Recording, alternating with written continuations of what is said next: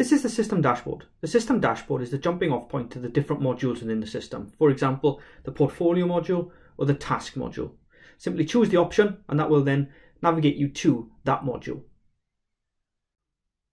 This is the portfolio list. You can access the portfolio list by choosing the portfolio list option from the dashboard. The portfolio list lists all of the properties you have access to. You can filter for a property by opening the filter and entering your search parameters. To view a property, click on the property. Each property is given a unique identification number, its type, its address, town, postcode, tags, and who's responsible. You also have controls. By choosing the ellipsis, you can edit, view the event log, or delete the property. This will depend on your user access rights. This is the property record. The property record consists of an about page, structure, action plan, documents, event log, and an asbestos register if you subscribe to the asbestos module. The About page consists of all information relating to the property, including the property image and any additional information that your organisation wishes to record against its properties. You can perform certain actions, you can edit and delete depending on your user access rights. This is the Property Structure tab. The Property Structure tab lists all of the internal structures within a building, for example floors and rooms. You can navigate through these structures by clicking on the structure. You can add new structures or sectors by going to the action and add sector. This will depend on your user access rights. The action plan, documents, event log and asbestos register are all dependent on the level that you are viewing. You can navigate back to the top level or the previous level by choosing the option here. This is the property action plan. The property action plan lists all of the tasks associated to a property. You can view a task by choosing the task from the list, you can search for a task by going to the open filter and entering your filter parameters. All tasks have got a unique identification number, a task name, a location within the building, a due date, status and cycle, any tags and responsibility, whether that's a team or an individual. You can also control tasks by going to the ellipsis. You can edit a task, complete a task, add remedials to planned tasks, view the remedials, view the event log, or delete a task. These are all dependent on your user access permissions. This is the property documents page. Your organization may have already set up pre-default folders or added documents to your properties. You can also add folders and documents by going to the action and add folder or document. To view folders, choose the folder. And from there, you can have either documents or additional folders. Again, choose the folder and there you can see and download the document by choosing the document. You've got an ellipsis, so depending on your user access roles, again, you've got a number of options available to manage documents or folders. To navigate through the folder structure, simply choose the options from the list. The property event log records all transactions against the property. You can export this list and review it in Excel if necessary.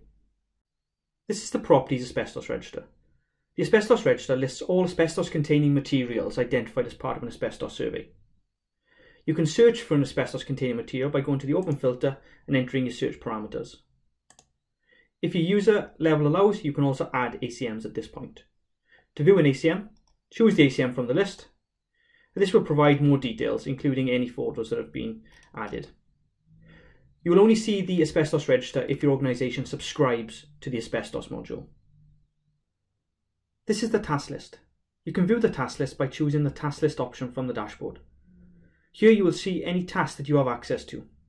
You can search for a task by going to the filter option and entering your search parameters. To view a task, click on the task.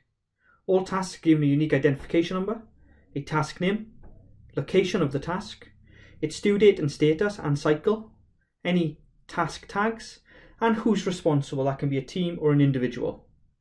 You also have controls where you can edit a task, complete a task, add remedial tasks to plan tasks, view remedial tasks, view the event log, and you can delete. These will all depend on your access rights. This is a plan task. A plan task consists of a about page, remedial tasks, documents, an event log, and any completion history. The About page lists all of the information relating to this task, including its status, its UID, name, description, when it's due, its frequency, when the task was started, tags, and who's responsible. Your organisation may choose to record additional information against these tasks. Within the action, you can edit the task, complete the task, add a remedial task to planned tasks, view remedial tasks, view the event log, or delete the task tasks. These will all depend on your user access rights. To complete the task, choose the complete option and then input the completion information and upload any evidence. This will then be recorded in the History tab. This is the Remedial Tasks tab against the Plan task.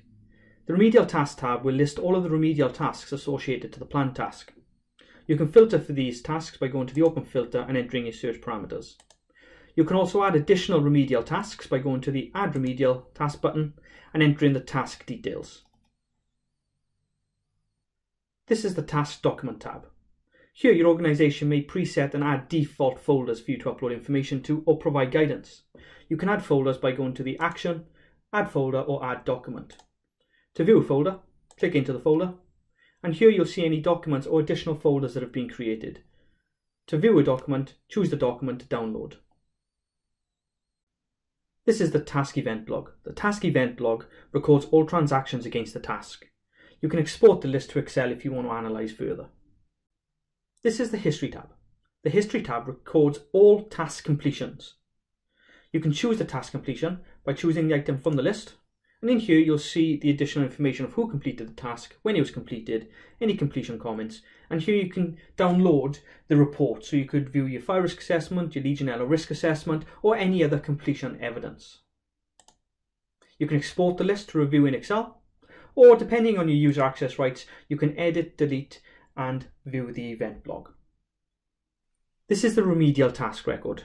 The remedial task record is very similar to the planned task. The only difference is that it's got an origin task linking back to its parent planned task as opposed to a list of other remedial tasks. The remedial task will also give a description as to what is required uh, and what was identified during inspection. You can complete the task by going to Action and choosing the Complete option.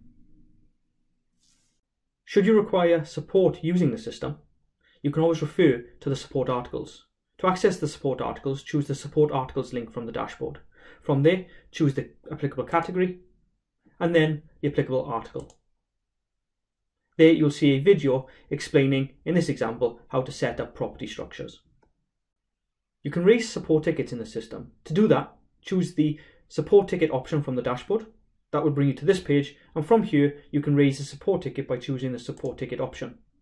From there, choose the applicable category. Categories will vary from organisation to organisation, and then create the ticket. From here, enter your message and click Submit. Once you've entered your message, one of the supporters will then get back to you. You'll receive a notification telling you that you've received a reply. This is the organisation document page. You can access the organisation document page by choosing the View Documents link on the dashboard. Here, your organisation may choose to share with you any specific documentation related to forms and templates, guidance documents, or policies and procedures. You can choose the folder by clicking on the folder, and from there you can choose either the document or the subfolder and then you can choose the document to download. If you have access, you can also add new folders or documents at this point. That's dependent on your user access roles. The system has an inbuilt notification system where you'll be notified of different changes to tasks or support tickets. You can view your notifications by going to the My Notifications and then choosing the notification from the list. You can also run reports in the system by choosing the report dashboard and then choosing the applicable option and going to the report builder or choosing an existing report.